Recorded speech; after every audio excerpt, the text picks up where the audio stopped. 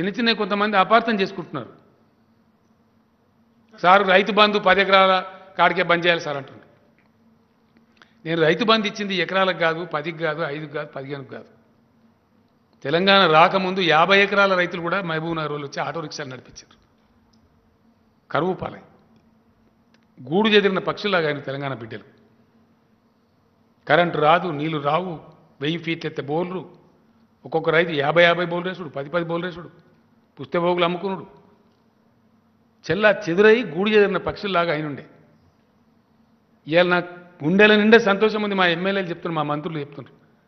Sir ఒక్కొక్క ఊర్లో బొడ్రాయి పండుగ చేస్తే లక్షలు ఖర్చు పెట్టి బ్రహ్మాండంగా జరుపుకుంటారు ప్రజలంటే నే- ఇంకా అంతకన్నా మనకు కావాల్సిన సంతోషం ఏందని నేను చెప్తున్నా.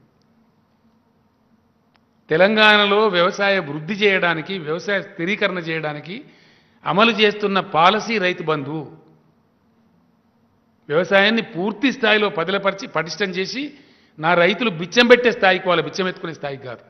అది రైతు బంధు. అది ఉచిత విద్యుత్తు. తెలంగాణ రైతును ఎవడన్నా నువ్వు ఎన్ని హెచ్పి ఉన్నది అనే కోన అనే కొడుకెవడని ఉన్నాడా ఇలా నువ్వు ఎన్ని మోటార్లు పెడుతున్నావు వాడు అడుగుతుండా?